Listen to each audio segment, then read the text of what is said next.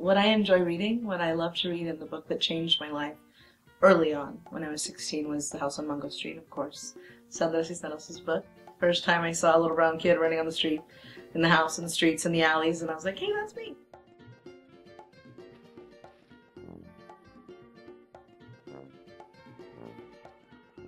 Uh, Naomi Nye's book, Yellow Glove Poetry, changed my life. Um, and right now I'm rereading Naomi Nye's essays, and um, I, it's incredible. You could pick up that book at any day, any time, any year, and every time I read, reread an essay, um, it's very narrative. It's very, uh, she's really descriptive and beautiful in her writing. So when I read her work, um, it's like I never read it before because there's always something new. So right now, that's what I'm holding on to. Is um, Never in a Hurry, Naomi Nye.